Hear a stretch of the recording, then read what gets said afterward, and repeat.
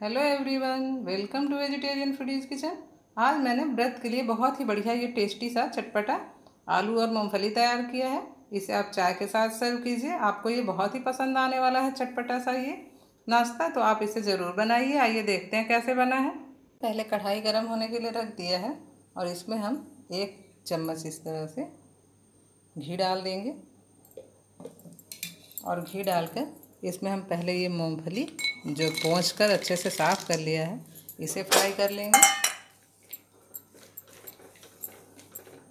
इसे हम लगातार चलाते हुए इस तरह से अच्छे से भून लेंगे।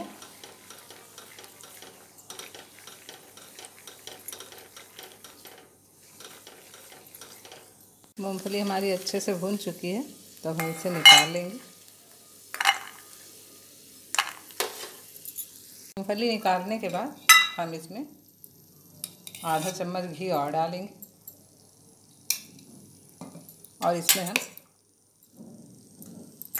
आधा छोटा चम्मच जीरा और दो हरी मिर्च इसमें डाल देंगे। और इसमें दो मीडियम साइज़ के ये आलू काट कर डाल देंगे, थोड़े बड़े टुकड़ों में। और इसे हम अच्छे से फ्राई कर लेंगे। आलू जब हमारा थोड़ा भुन जाए तो इसमें एक ये मीडियम साइज़ का टमाटर डालेंगे और इसमें आधा चम्मच ये काली मिर्च फूटी हुई है, ये डाल देंगे।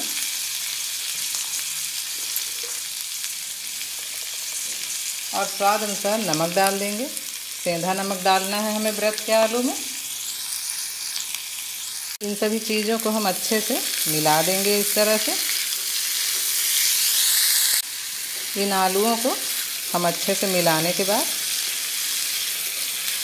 इसे हम ढक देंगे थोड़ी देर के लिए, ताकि टमाटर हमारे अच्छे से गल जाएँ।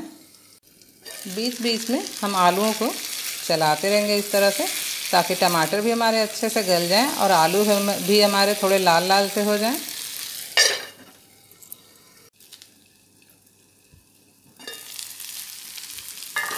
आलू हमारा बनकर तैयार है और बहुत ही बढ़िया ये आलू बनकर तैयार हुआ है।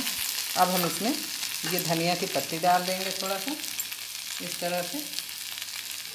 आप अगर टमाटर ना खाना चाहें तो इसे बनाने के बाद आप इसमें नींबू डाल सकते हैं और बहुत ही बढ़िया ये चटपटा आलू तैयार है हमारा। अब हम इसे सर्व कर लेंगे।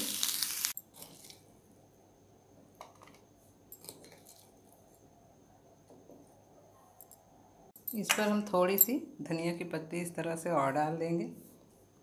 और ये मूंगफली भी हम इस तरह से इसके साथ डालकर सर्व करेंगे। और ये बहुत ही बढ़िया, बहुत ही चटपटा हमारा आलू बनकर तैयार है। तो इसे आप भी अपने घर बनाइए, व्रत में आप इसे खाइए।